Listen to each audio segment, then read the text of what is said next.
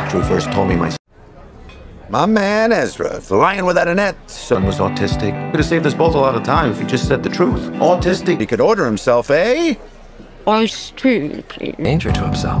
He's not dangerous. He's a challenge. Nobody wants to do the work. Now I see. All I ever wanted was just to protect our boy. Well, I'm protecting him now. You know, the word autism comes from the Greek, in your own world. I don't want him in his own world. Give your Uncle Nicky a hug, huh? Come on, come here. Hey, hey, where you going, Ken? Kids don't give a. Shouldn't be living with his father. He led 20 kids onto Washington Street. Your son has been. You want me to put him in a special needs school? Jenna knows I'm broke. She knows you're still not over her. The man you're in. I can't get wrong. Just look him in the eye. Looking a horse in the... I want him in this world.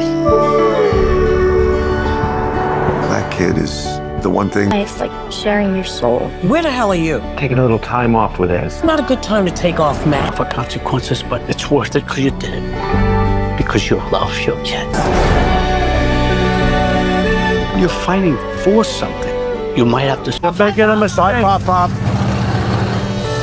What are you doing? Ezra, get in the car. I need to get him away from here. Todd taking the car. Dangerous behavior comes from. Son of a. You want to do something for your son?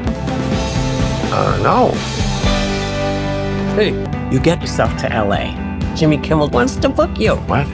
They're not going to fly you. It's not going to be a problem. A dad's job is to take his son down the field. And if he gets.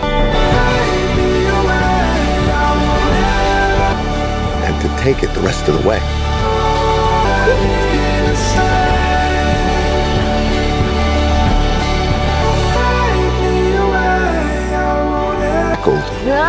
All that dad wants is for that kid to pick up the ball